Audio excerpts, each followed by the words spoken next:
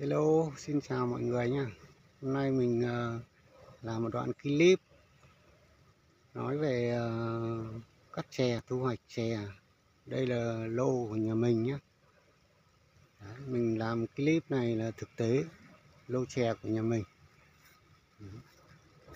Để uh, có lứa chè tốt như thế này thì phải mất 45 đến 50 ngày thì mới được cắt nhé mọi người nhé. Đấy.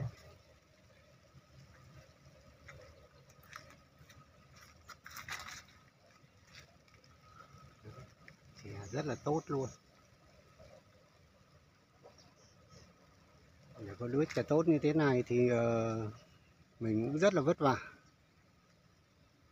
Nào là làm cỏ bón phân bảo vệ thực vật.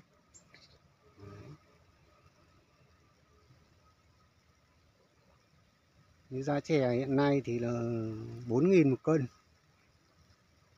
Nếu mà mình ờ, thuê cắt nữa thì ờ, cũng chẳng còn được bao nhiêu cả.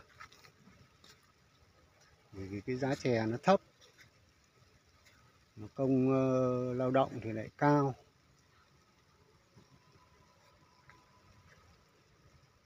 Nên là cái người làm chè như bọn mình là rất chi là vất vả. Mà thực ra thì lương ờ, lậu rồi ờ, tiền nó chẳng được bao nhiêu cả.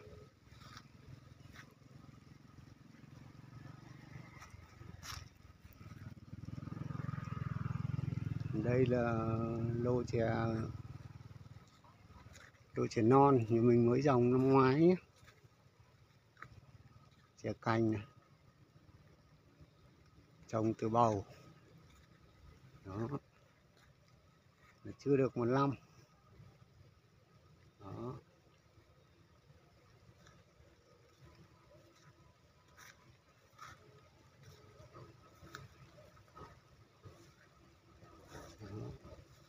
Mình ờ, quay ờ, đoạn clip này để ờ, chia sẻ với tất cả mọi người.